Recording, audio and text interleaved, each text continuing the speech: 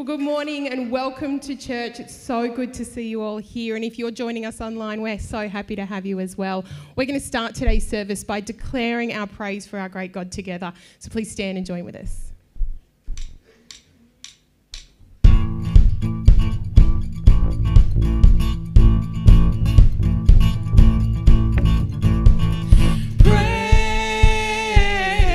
Praise the Lord. Praise the Lord. Oh my soul.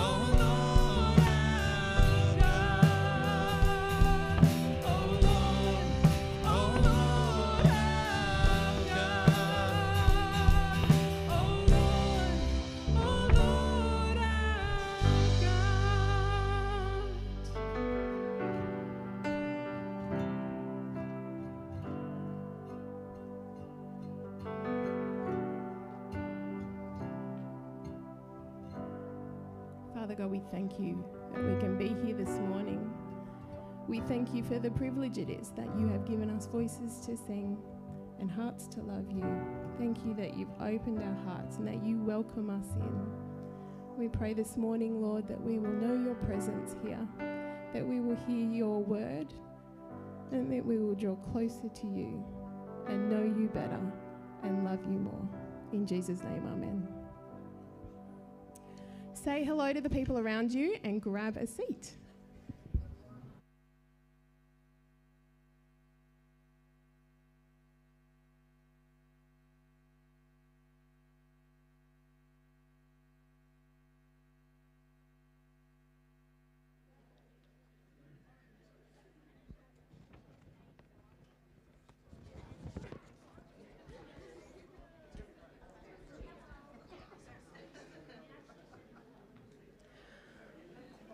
Well, welcome again to church. If I didn't get to say it the first time, if you weren't here the first time, uh, so good to have you here. Those conversations, we'd love for you to keep having those after church. We're going to have morning tea together. Um, but welcome.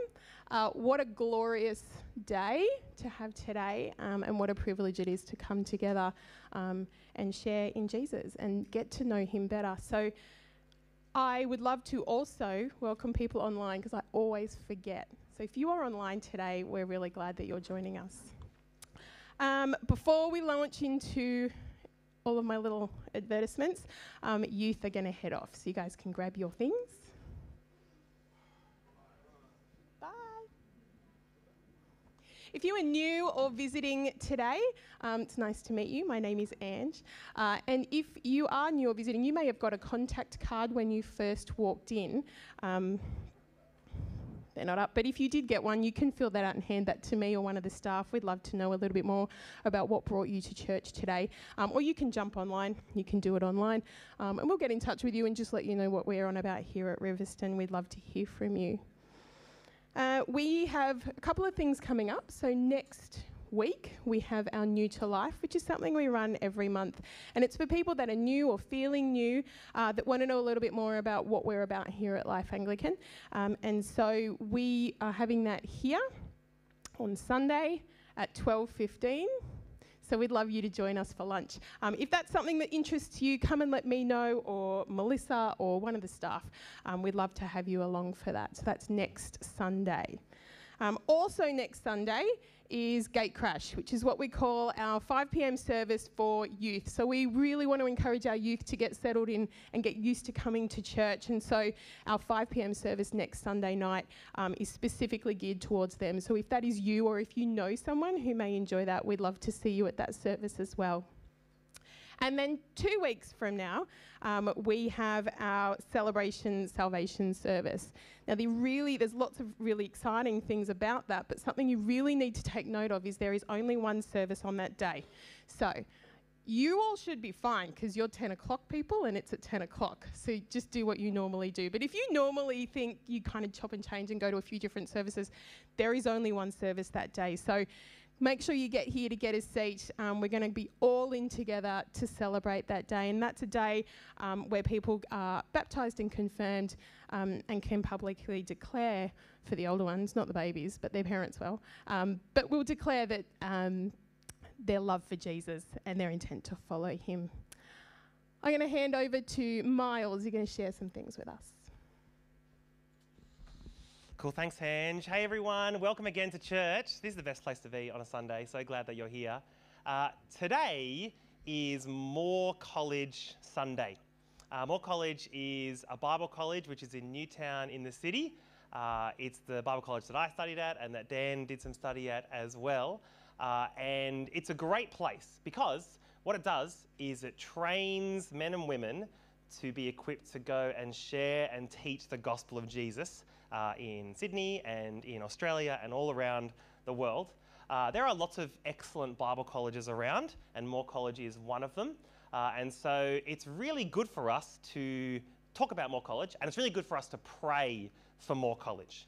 And so in a moment, Ben is going to come and he's going to lead us in prayer and he's going to pray for Moore College. Uh, but before he does, we're going to watch a short video um, just interviewing a student from Moore College and seeing what they're up to and what kinds of things happen at Moore College.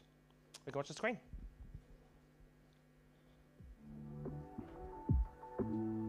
My name is Rayhan. Um, I'm the son of uh, two Sri Lankan parents. I was born in Australia I'm married to Kartika and we have a little seven month girl called Abigail who is so much fun. Growing up, I heard the stories of the Bible, but I didn't really understand who Jesus is and what that kind of had to do with me. I joined a small group at uni and there wasn't anything amazing that happened, but we read the Bible and there were just a bunch of people who really loved me for who I was. And kind of as we looked through the Bible, I started to reorient my life around Jesus and the Bible. Before college, I worked as a physio in a hospital, and then in my sort of third or fourth year of work, kind of was feeling overwhelmed by just, you know, how much time and energy and investment we put into people's lives to get them out of intensive care, back to the wards, back home. Then I really just wanted to tell people about Jesus, but I couldn't, limited by my work and my time and my pastor offered me the opportunity to come along on staff as our youth pastor. And I think at the end of that process, just came to terms with just how um, how important it is just to be uh, shaped by really good theological foundations and not just work of what I think is right, um, but have really good training in the Bible. I think what I've really appreciated about college is just slowing down just hitting the pause button on full time ministry for a bit and just being in community just to learn, to reflect, um, just to go really deep in the Bible and understand um, the Bible a lot better so I can be better equipped to teach Bible better. Um, to figure out where my weaknesses are, figure out where the sinful areas are, and have some really good time to work on them before heading back out into full time ministry after college. Um, yeah, we're kind of exploring two things at the moment. Uh, one option I'm exploring is hospital chaplaincy, um, just with my background working in a hospital and you know love for telling people about Jesus. That's one thing I'm exploring at the moment, but also keeping doors open for uh, parish ministry and working as a pastor. I think um, yeah, working as a youth pastor gave me a really good taste of what it's look, what it's like just to look after a small church, and uh, that's been a helpful experience. So we're kind of praying about those two things at the moment.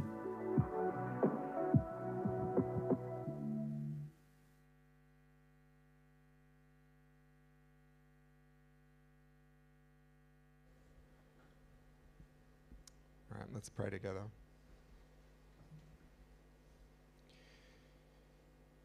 Yours is the kingdom and the power and the glory.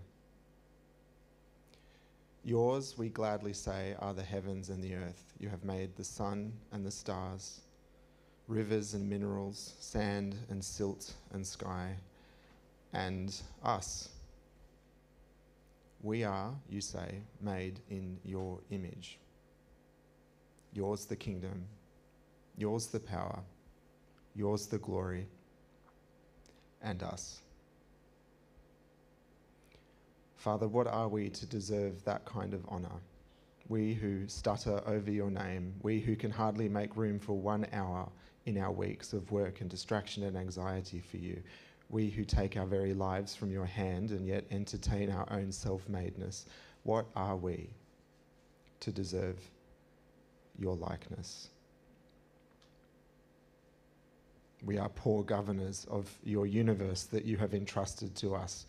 We are made in your likeness, but we know that our lives do not match that likeness. So we give you our gratitude this morning for Jesus, who is God made like us. And we thank you that he, like us, was made lower than the angels. We thank you that, like us, he took a mortal body, that he tasted suffering and pain and death and finitude. And we thank you that, unlike us, he was completely and perfectly in your likeness, so that he not only tasted death but disempowered it. Jesus is worthy, and we are not but you love us all the same, despite our failings. And so you have not only made a way out of death for us, but you have also given us Jesus as our leader and our brother who walks this road alongside us. Father, match the likeness of Christ to our flimsy, failing lives. Give us your Spirit's gifts of betterness to match this divine ancestry of ours take our unworthy selves and let our lives be lived towards you in a way that is worthy, so that people around us will notice and wonder, so that injustice may be undone and made fresh, so that angels may be moved to praise you for what you have done in us and through us and for us.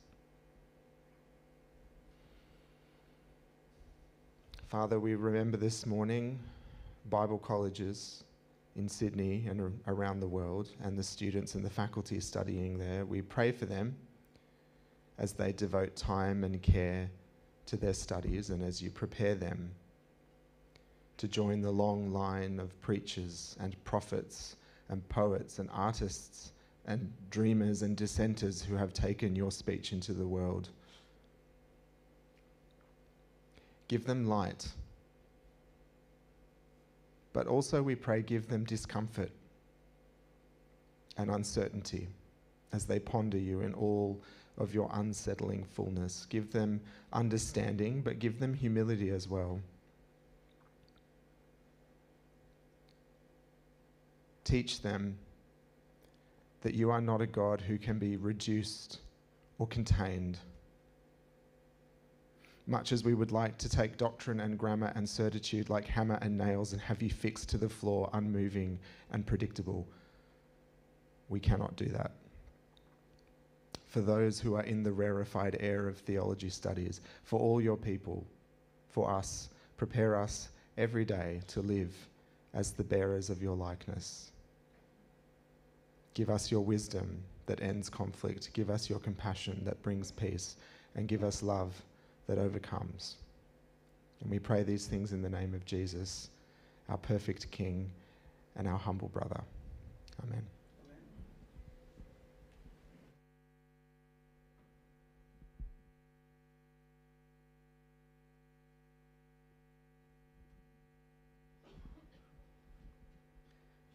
Good morning, everyone. Um, my name is Yuska, and we are going to be reading the Bible together. Um, so please take out your Bible or your Bible app. Today we're going to be reading from Hebrews 2, verses 5 to 18, and we're reading from the NLT version today. If you are new today or you are new to reading the Bible, um, you can find the book of Hebrews today in the second half of the New Testament. So if you look at the table of contents, you should be able to see it there.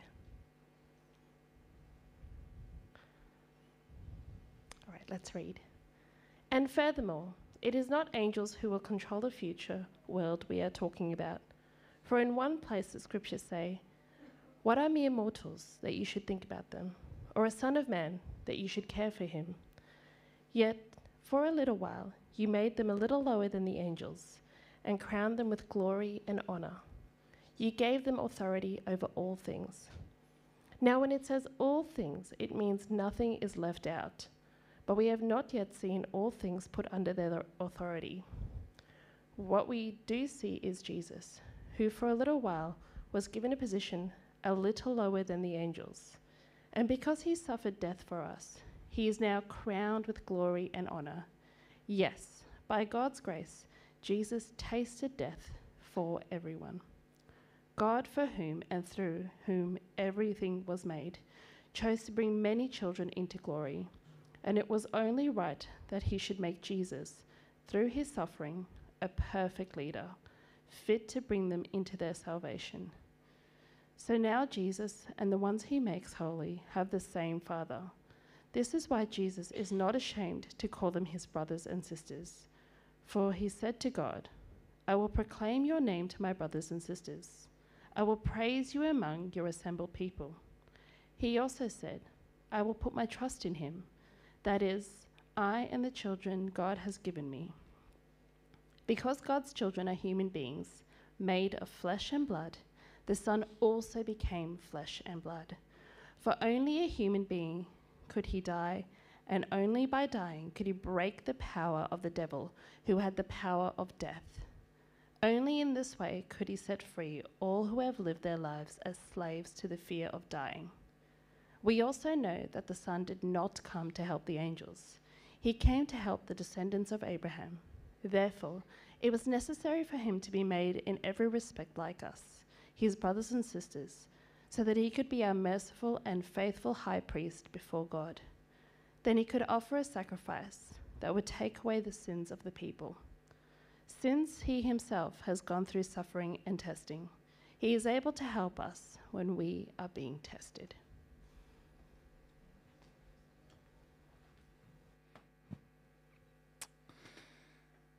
Thanks, Yuriska. Good job on that reading. It's, uh, it's a hard reading, that one. It's, it's not hard words, it's just um, strange sentence structures. Who's been watching the Olympics? Been watching the Olympics? It seems like it's, I don't know, it seems like people are confused whether we're allowed to be enthusiastic about the Olympics or not.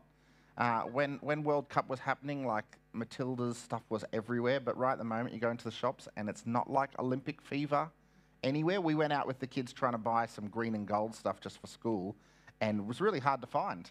Uh, it seems like we're a little bit like, are we are we in on this or are we not in for it? It's been great for our family because the kids four years ago, you know, Olive was six and didn't really get it. She's now old enough to kind of get it. So we've been watching a little bit with the kids, which has been really fun. Um, really love the kind of the underdog stories and the stories of the amazing comebacks, the amazing um, you know, the Matildas game against Zambia, I don't know if you saw that one. Pretty, uh, pretty amazing. Like at the one hour mark, they were down two to five, which in soccer, it's pretty much done and dusted with a score like that. And they came back to win it 6 5. Great. I mean, I only saw the second half, but that was the only bit worth seeing, I think. Fantastic. Um, there's some great stories like that this last week, um, there were some some stories like that. I don't know if you heard the one about like the mixed double doubles ping pong. North Korea came in, expect they were the lowest on the table, expected to be lowest. 16 of 16 they were. Surprised everyone in their first game, played Japan, which was number two, and won it. And that kind of already set the mark and played right through to the finals, played for the gold just missed it and got the silver. But, um, you know, to have a story like that, first uh, medal for North Korea in eight years, pretty, pretty great. Um, the other one that's happened this week is the pistol shooting. I saw this. I saw this. I was just inquisitive. I saw in the list of things on like online pistol shooting, and I, you know, I was pretty hopeful for like gunslinging, like fire off uh, a number of shots. It's, it's a very strange sport. This is, you can see, this is kind of the, the outfit. They're rigged up with all these kinds of, they got the horse blinkers on and the, um, some sort of monocle there, pretty crazy, very weird. But then, not after, not long after I saw that, the stories started coming out. Uh, like this next one, she's been dubbed. She was dubbed like the coolest Olympian. You know, some people call her RoboCop. Um, just this, you know, I don't know what the toy is. She a good luck charm she has hanging from her hip there, and uh, her her glasses. She was dubbed the coolest Olympian. That is until you probably saw this one, but that is until this guy came out. This guy from Turkey. Most countries sent their Olympians. This guy just sent one of their mafia men, and he just came out, hand in pocket, fire his shots off, got silver. Just what a great story. People like drawing anime pictures of him as a superhero. It's, it's great having those stories of kind of the unexpected, the surprising um, stories. But also at the Olympics, it's hard not to go past just the incredible feat of humanity that's happening there. Because um, the kids have a little Olympics coming up, we we're just looking at some of the, they haven't happened yet, but things like the long jump, the high jump, the world record, the world record long jump is like almost nine meters. Like that's crazy that a human being can jump that kind of distance. Um, high jump is almost two and a half meters.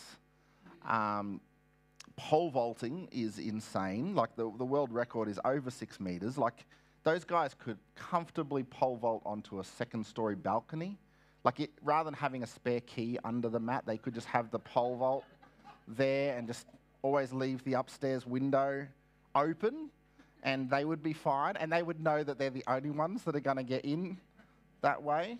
Just crazy um, human feet. And it, it, it addresses some of what we sometimes think about uh, humanity. It's amazing to marvel at the, the, um, the incredible humanity and the, the lengths people can go to and what they can do. And it, it, it makes us think a little about um, our worldview on humanity. What is humans? And I think we land on kind of one or two places often. The, the secular, secular thinking on humanity is either, at times, we kind of go on this, we are the authors of our own destiny. Humans can, they're infinitely adaptable. We can do anything we set our minds to. It's just a matter of time and, and so we, we kind of put humanity in this category of, of gods controlling our world around us. And there's a problem, I think, with that because we find the times where we don't control our world. There are moments, certainly, where we marvel at what humans can do, but it becomes incredibly jarring when we hit a space that we can't overcome. And maybe it is only a matter of time but we only have limited time here. And so, if we want to ask the question about will humans overcome the problem of, of cancer, that's fine to ask that question. But that may not be a question that can be answered in our own time. And it seems like everything we overcome has another problem around the corner. And so, we can't fit in the category of where, where mini gods kind of controlling our world. The opposite thing we sometimes do is we diminish humanity down to just a, a creature. We're just another one of the creatures. We're a little bit more evolved, we're a little bit more intelligent, but really we're just a smarter version of other creatures around.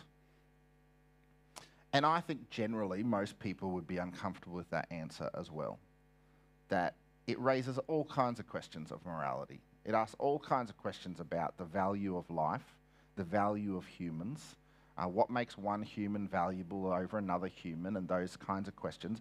Are we just slightly more intelligent, maybe much more intelligent creature? I think I, I find that an unsatisfactory answer.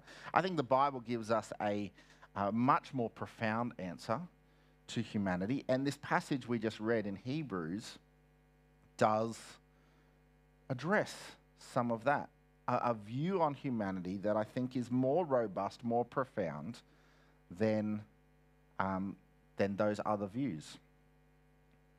I would say, as we read that, if you found that kind of hard to follow the train of thought, uh, uh, you're in good company with that. It's a, it's a kind of weaving argument that the author there makes. When I was preparing and I kind of read through the passage, I was like, ah, I need to read that again. I, di- I didn't get that. I read it again and then I was like, okay, concentrate. You've got to read this. It's quite complex. We're going to work our way through it. So I would encourage you to have Hebrews chapter 2 open and we'll look at some of that. I think there's some really helpful things in there for us. And the picture is the picture is Jesus' humanity. Uh, in fact, I think um, was it the uh, the NLT just titles the this section Jesus the man. That's the that's the sentence. He is the man. Uh, the picture is, I mean, we called the series Jesus is greater, and the message of Hebrews 2 is he's the greater human. And there's a picture of our humanity, there's a picture of his humanity, and there's a picture of what to make to do with some of those questions. Hebrews chapter 1, if you're following along last week, we didn't spend long on this, but uh, the message at, he- at the end of Hebrews 1 is Jesus is greater than the angels. But then we got to Hebrews 2, and it's almost like the author says, well, but he became a human. How can he be greater than the angels if he became a human? And the message here is uh, well, humans are created for glory. That's the picture, the biblical view of humanity. And the author here picks up on that, uh, quoting a psalm. The psalm is Psalm 8. And that psalm is referring to Genesis chapter 1 to the creation story.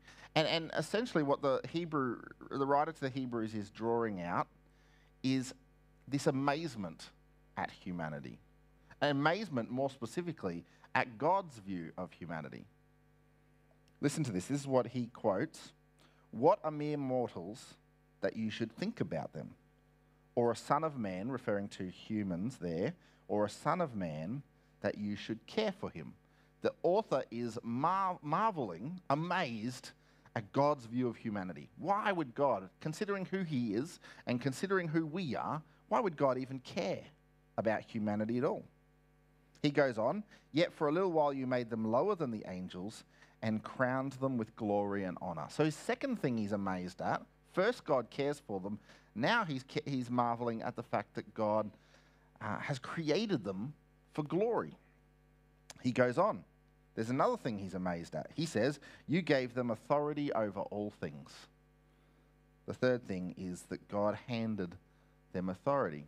This is a picture, this is a biblical view of humanity, and you can think of it in two, two words. The first one is reflect. We're created to reflect God's glory. And the second one is reign. We're cre- created to rule, sorry, rule. We're created to rule over God's world. Reflect and rule. This is a picture the Bible gives of humanity. Not that we're just another creature, but there's something significant. The Bible uses the language in Genesis, made in the image of God. There's a, that's an incredibly um, important theological truth about the biblical view of humanity that we are not just another creature, but there's something specific about the creation of humans that is both designed for relationship with God and to reflect God Himself. We reflect God, but also we're being given a significant job, a job that no other creature has been given, a job to rule over God's world. Now, that means a couple of things. One is if we reflect God's glory, then uh, humanity is uh, worthy of being treated with dignity. Every human is being worthy of being treated with dignity. Now, that gets difficult when we face someone who does uh, horrific things. And uh, to treat someone with dignity doesn't mean they don't face justice or judgment. It doesn't mean that right punishment shouldn't still happen. But there's ways we can do that in a way that dignify that, that still holds dignity for humanity and still deals with uh, right justice and judgment. But that's the picture of reflecting. If the picture is that God called us to rule his world, then important application for us is that if this is God's world, then he gets to make the rules. He gets to decide what is the right way and the wrong way to rule the world. And there has to be some sense of God's world dictates how it should be ruled. That's the picture that we're given of humanity. But of course, we know that's not a complete picture either. Because the reality is, uh, we often, humanity often makes terrible reflections of God's glory. In fact, the Bible uses the language, we've fallen short of the glory of God. And we make terrible rulers of God's world. And so there's not a complete picture there because that isn't what it looks like for us. And I think the biblical view, uh, it makes space for that and acknowledges that. There's no place in the Bible where there's some kind of pretending like suffering doesn't happen, pretending like everything's the way it should be. The Bible is very clear. We have fallen short from God's glory. Things aren't the way they should be. And the writer here makes points that out. He quotes this psalm in saying, All things are under human's authority the very next verse says, verse 9, we have not seen all things put under their authority. There's acknowledgement here from the author that isn't actually how it feels. People have been put in charge to rule over this world, but we don't have complete control, do we? Things don't always go the way we want them. We can't control everything. There's a sense where we don't have that kind of rule that we would expect. And once again, we reflect on the Genesis story, the fall of humanity, where there's a disordering of God's order. You, have probably heard this idea before the idea that God put uh, humans in charge of the creatures. But in Genesis 1, the way the story is told, the evil one is depicted as a creature, as a serpent.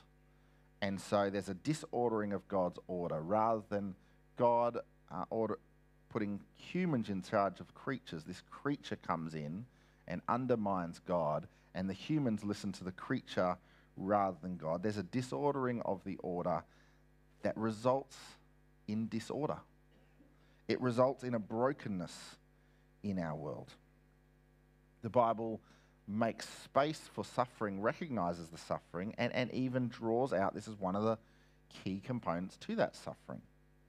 One of the first answers to, to the question of why there's suffering in this world is we live in a broken world. The world itself is in disorder. And so that's the first answer to the question, of suffering. The second answer we might have to the question of suffering is humans themselves are in disorder. We ourselves are not living the way we should. The world causes suffering, this broken, disordered world causes suffering, but humans also cause suffering to each other. And so we have this question what, what, why doesn't God put an end to suffering? Well, for God to put an end to suffering, first of all, uh, He would have to take away some of our humans' free will to make decisions um, because our decisions cause suffering. But the second answer to why God has not yet put an end to suffering is he would have to remove sin, disobedience entirely. And removing sin, removing disobedience entirely would mean removing anyone who has not accepted the salvation in Jesus. And so that call to say, why doesn't God put an end to sin, to, to suffering, actually in part would say, because God's grace and kindness, He is giving people opportunity to turn to Him. And so we see this picture of suffering. The third answer we get here to suffering is that Jesus meets us in our suffering. It's an incredibly profound thing of the message of the good news of Jesus that he meets us in our suffering. And that is the sense that this author wants to draw Jesus out as the greater human. He says in verse 9, We have not seen all things put under human authority. Verse 10, what we do see is Jesus, is his words. Jesus is that answer to suffering. Jesus joins us in our suffering. I heard a interview this week. I don't know why it came up in my social media feed, but it was an interview with George W. Bush about playing golf. The question was, did you play golf as a president? He says, I didn't play golf as a president as long as we had soldiers at war. He said, I didn't think it was right for people to see me out on the golf course knowing that there, we have other American soldiers off in another country. Now, that means he didn't play much golf during his presidency because they were at war almost the whole time. Um, there's something really nice about that, something that makes sense about that. Of course, Jesus doesn't just stop doing something he'd like to do because we are in a place of suffering. No, Jesus meets us in our suffering. Jesus doesn't stop playing golf, he joins us on the front line. And there's a lot of reasons why a general, a commander in chief, someone in charge might not join the soldiers on the front line. But Jesus doesn't have to worry about those things. He is the creator of all, He is in control of all things. And so He does meet us on the front line in our suffering. Jesus understands our suffering because He genuinely suffered the times where we feel like we are misunderstood and people just don't get us. Jesus was called a liar, he was called a demon, he, he was vastly rejected by many people. When we feel rejected, when we feel lonely, Jesus was executed by his own people, by his own creation, by his own children. When we have moments where we see our children go through hurt and we feel the pain of our loved ones in our life. God watched his own son suffer. When we have times where we physically suffer through illness or pain, Jesus suffered great torture, great, hum- great physical pain. When we face temptations time and time again that we feel like are just such a great burden to us. Jesus was tempted so greatly in the desert. We're told he was tempted so much, uh, he, was, he was so hungry that his temptation was to turn rocks into bread. I mean, that's how hungry he was. So hungry that he started thinking the rocks looked delicious. Jesus has suffered great temptation. Jesus joins us in our suffering, but he doesn't just join us in our suffering. His suffering is the cure to our condition. There's this high, there's this U shaped pattern in the, the letter to the Hebrews um, a high to low to high picture, and that language is used in these, this chapter. Humans were created for glory.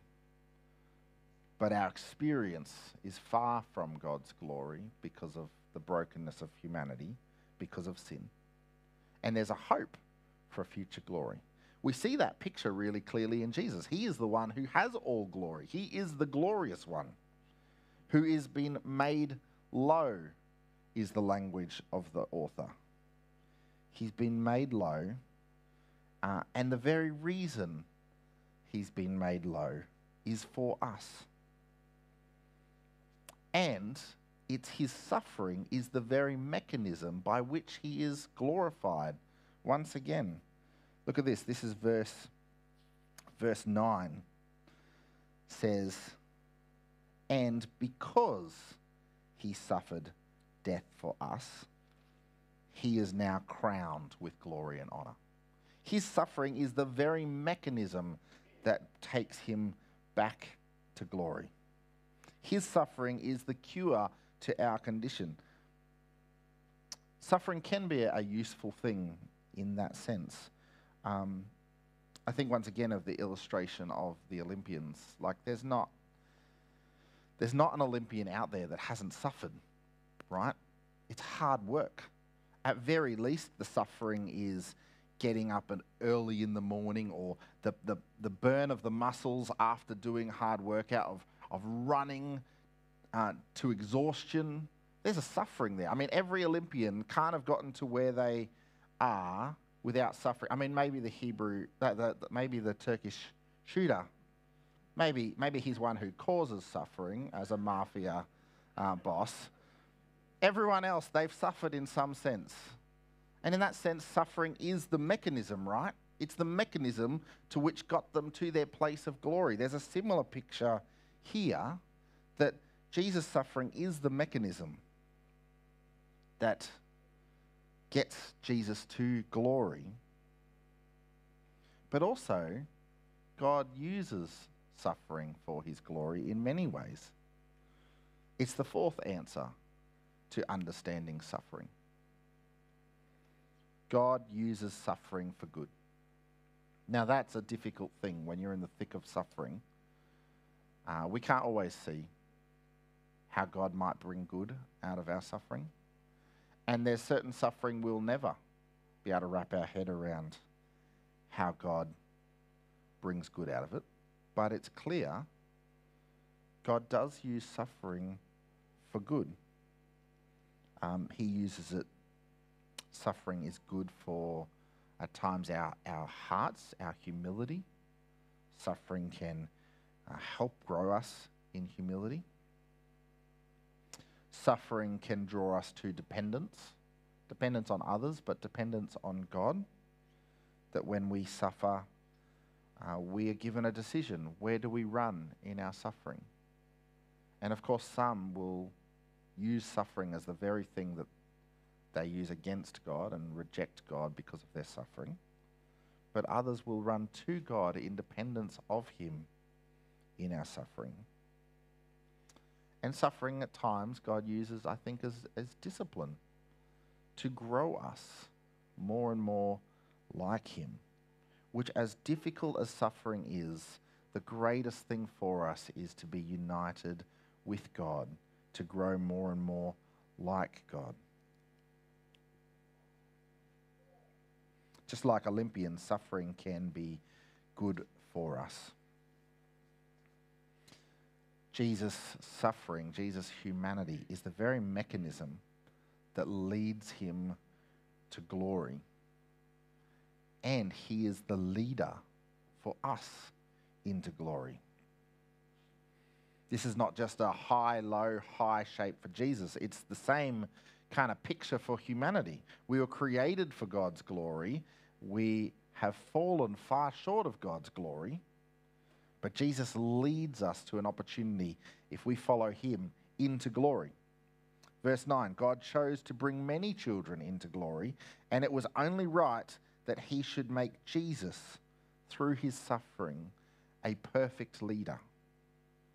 It is through Jesus' suffering that he leads us into glory. This is the biblical view we have of humanity that we were created to reflect and to rule, and we are poor reflections of God's glory, and we're poor rulers of God's world. But the hope is, the promise in Jesus is those that are united in Him will once again perfectly reflect God's glory, and once again perfectly rule alongside Jesus. The author here uses the language, he will call us brothers and sisters. There is a future hope of a perfect rule alongside Jesus. It's the fifth answer to the question of suffering. It's the future hope that God has a plan for glory.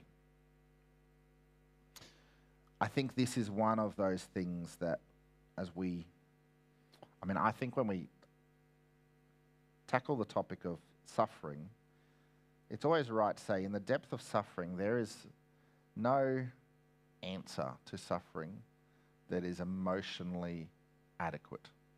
Something can be true and not feel like an adequate answer to you at the time. Um, it's, the, it's the classic idea that when someone has an injury, someone loses an arm, you don't say, at least you still have your other arm right? That's not, that's not an appropriate response. It's a true statement, and there is some hope in that, but that's not the comfort in that moment. And the same thing's true as we think about these truths about God and suffering. Our perspective is so finite. Our perspective is so limited. Our time is such a small speck in the scheme of eternity and the greatness of the suffering, no matter how great it is in our world, that suffering itself is only a speck in the perspective of eternity. And so God's view is far greater than ours. And if He is a good and loving God, there has to be good and loving reasons why suffering remains in this world. And, and we've tackled a few of them uh, this morning. But the ultimate hope is God's perspective is bigger, God's plan is greater. And God has a plan for future glory that is an eternal hope. Jesus is the greater human because, like all humans, he went from glory to suffering. And he looks forward to a day and leads us into a place where we might be glorified again. This is our hope in Jesus, and it's something we want to cling to. It's part of understanding uh, the biblical view of humanity and God's value for, for humanity, and therefore God's hope and plan He made for us. Uh, in two weeks' time, we mentioned already where we're going to have uh, baptisms and confirmations. Baptism is one of those pictures of that for us. There's lots of images we get in baptism.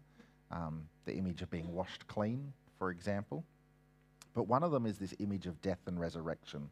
And there is a high, low, high picture that happens there.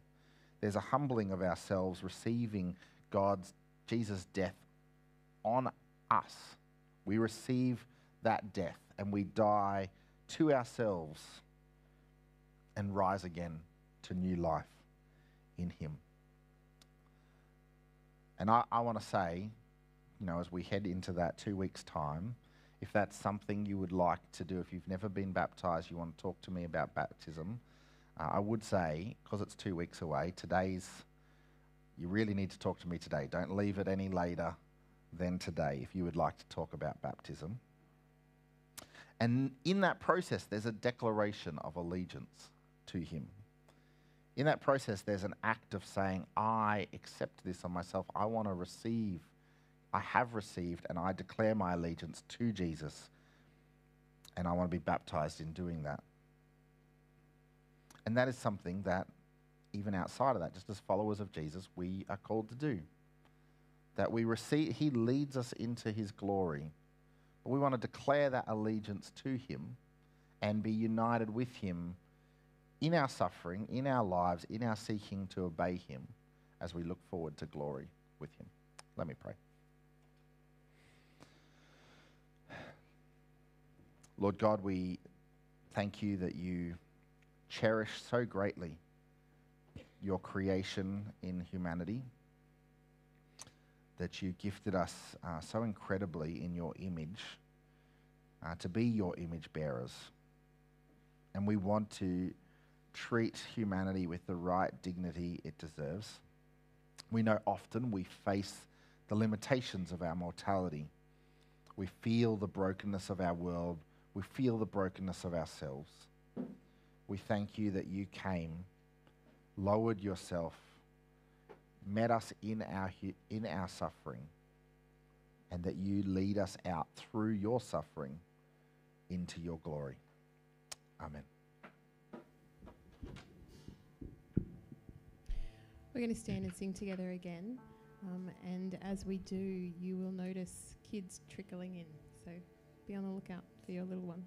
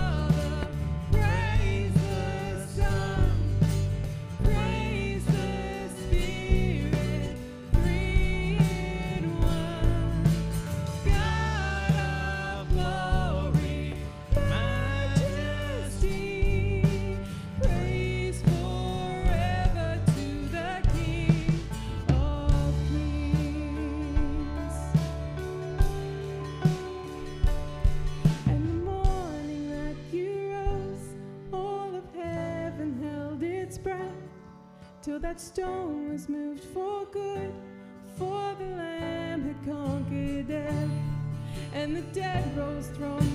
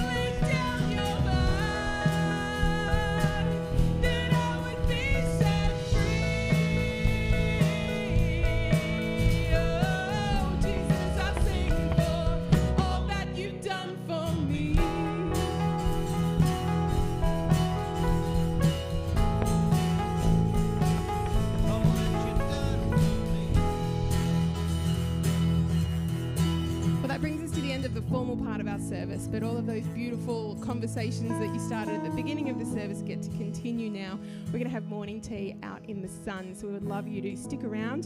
Um, and if you haven't met someone, you see someone you haven't seen before, make sure you say hello, and we will see you next week.